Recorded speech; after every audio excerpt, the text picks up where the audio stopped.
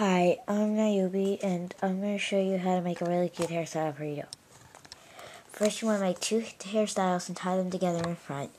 Then you flip it in the back, and it looks like this. If you have any flyaways, just tuck them in like this. And there's a really cute hairdo for your doll. It's really cute.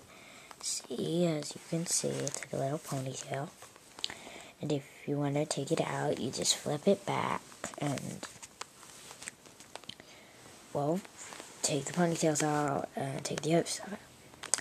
So that's a really cute hairstyle for your doll, and so, bye.